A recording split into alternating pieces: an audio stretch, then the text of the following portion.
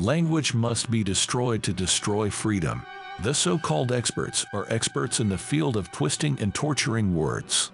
Many evil acts can have good reasons behind them. Don't be fooled by fancy reasons to justify a particular act.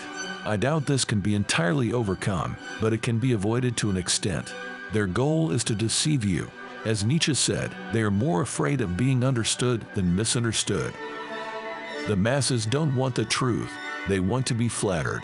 It's often said that the truth is a tough pill to swallow. This is a true statement. The masses have a desire to be detached from reality. You might even be given correct information. This doesn't mean it's true. It's a lie if the intent to deceive you is the goal.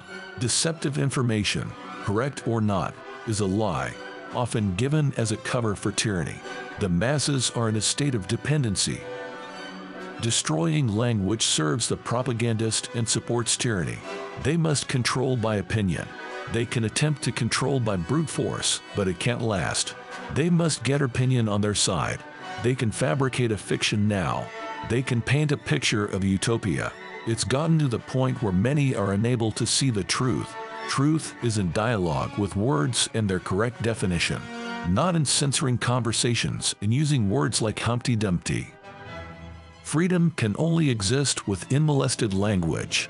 Unbiased ideas, opinions, and truth must exist. Destroying language destroys freedom. Truth is anchored in language. Freedom is anchored in truth. We can have freedom with molested language. Those set on destroying language are set on destroying freedom.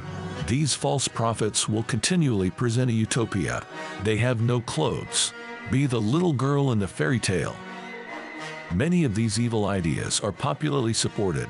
They can't last otherwise. Opinion can change and can change overnight. They have changed in the past and they can change again. There are many quasi-state institutions that assist in destroying language. People might support different names and different policies, but they are the same in their submissiveness. They want to keep you too busy to think.